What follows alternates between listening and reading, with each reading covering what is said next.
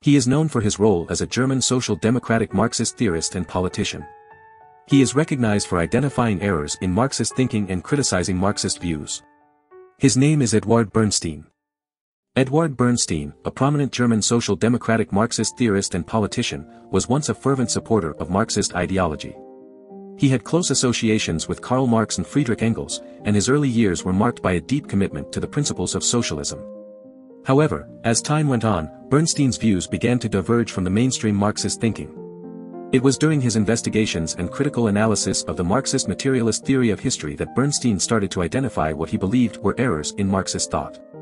In particular, he questioned the Hegelian metaphysics that underpin significant parts of Marxist theory. Rejecting the notion of an imminent economic necessity to socialism, Bernstein sought to challenge and dismantle some of the fundamental pillars of Marxist ideology. As the protagonist of this story, Edward Bernstein embarked on a transformative journey, breaking away from the conventional Marxist perspectives.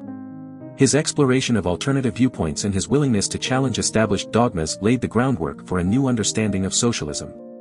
Bernstein's intellectual courage and independent thinking would go on to shape his own unique brand of social democratic theory, leaving a lasting impact on the evolution of Marxist thought.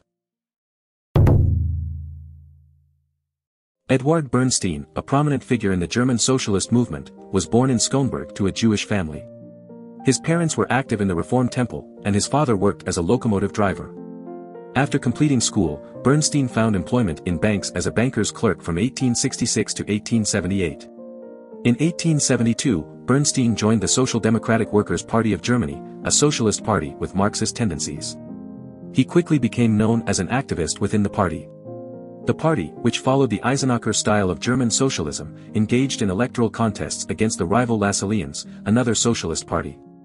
However, neither party was able to secure a significant majority of the left-wing vote in these elections. To unite the various factions within the socialist movement, Bernstein, along with August Bebel and Wilhelm Liebknecht, organized the Einigungspartei in Gotha in 1875. This event aimed to bring together the Eisenachers and the Lassalleans. However, Karl Marx criticized the outcome of the Gotha program, seeing it as a victory for the Lassalleans. Bernstein later noted that it was Liebknecht who proposed ideas that Marx found irritating. In 1878, Chancellor Otto von Bismarck used two assassination attempts on Kaiser Wilhelm I as a pretext to pass strict anti-socialist legislation. This legislation effectively outlawed the Social Democratic Party, SPD, and led to its active suppression throughout Germany.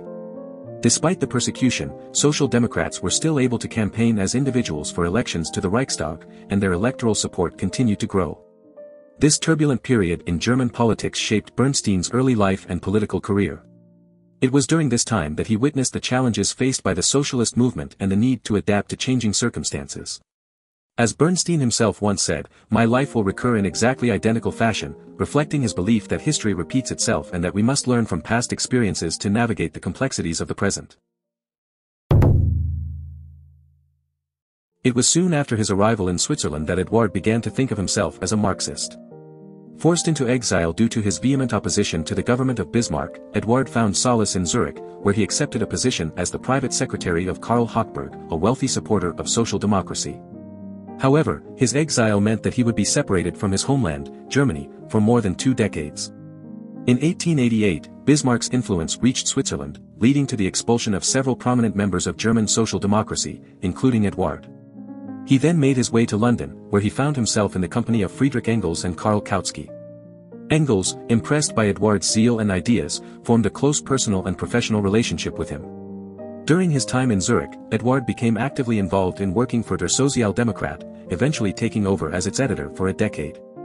This period solidified his reputation as a major party theoretician and a Marxist who adhered strictly to orthodoxy.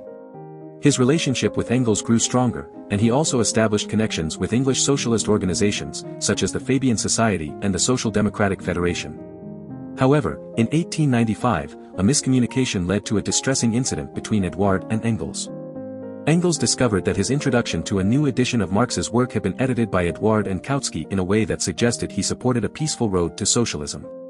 This deeply troubled Engels, who wrote to Kautsky expressing his concerns before his death. Despite this setback, Edouard continued to contribute significantly to socialist thought. He co-authored the Erfurt program in 1891 and published a series of articles titled Probleme des Sozialismus between 1896 and 1898, sparking the revisionism debate within the SPD. His ideas presented a contrast to the positions of Bebel, Kautsky, and Liebknecht, leading to a polemic against his stance by Rosa Luxemburg in her essay, Reform or Revolution. In 1900, Eduard published Zur Geschichte und Theorie des Sozialismus. Edward Bernstein's exile and his subsequent development as a Marxist thinker showcased his commitment to socialist ideals. His close association with Engels and his contributions to socialist literature left a lasting impact on the movement. Despite the controversy surrounding his ideas, Edward's commitment to social democracy and his exploration of the challenges faced by socialism have provided valuable insights that continue to resonate in our daily lives. In 1901, Eduard Bernstein returned to Germany after the lifting of a ban that had prevented his entry into the country. This marked a significant moment in his life, as he embarked on a new chapter in his career as an editor for the newspaper Vorwärts. It was during this time that Bernstein's philosophy began to take shape and influence his political beliefs. As a member of the Reichstag from 1902 to 1918, Bernstein played an active role in shaping Germany's political landscape. In 1913, he made a bold decision to vote against the armament tabling, aligning himself with the left wing of the Social Democratic Party, SPD. This move showcased his commitment to pacifism and opposition to the growing militarization of Europe.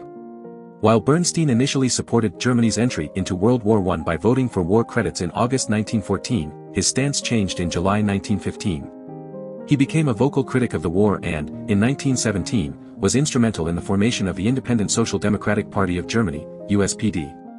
This party brought together socialists who opposed the war, including reformists like Bernstein, centrists like Kautsky, and revolutionary socialists like Karl Liebknecht. During his time with the USPD, Bernstein continued to advocate for peace and social justice. However, in 1919, he made the decision to rejoin the SPD, once again aligning himself with the more mainstream Socialist Party. From 1920 to 1928, he served as a member of the Reichstag once more, contributing his expertise on Anglo-German relations. One significant moment in Bernstein's later political career occurred in 1920 when he became a member of the parliamentary committee investigating the question of war guilt. Despite being a member of the bourgeois parties, Bernstein stood apart from the majority by openly admitting Germany's responsibility for the outbreak of war. This courageous stance demonstrated his commitment to truth and his willingness to diverge from mainstream politics. After a long and impactful career in politics, Eduard Bernstein retired from political life in 1928. His return to Germany marked a crucial turning point in his philosophical and political journey. Through his actions and beliefs, Bernstein showed us the importance of standing up for our convictions, even when it means going against the prevailing norms of society. Do you want to explore more philosophers? Who do you want to see featured next? Subscribe and leave a comment below to let me know. I'll see you in the next video.